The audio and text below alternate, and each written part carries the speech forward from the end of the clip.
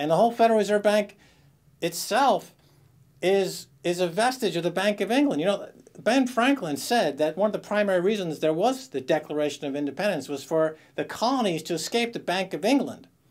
The Bank of England and its central banking functionality and, and the, uh, the, the way it oppressed the colonies through its fiat money system was one of the reasons why in the Constitution it says no money shall be traded except gold and silver.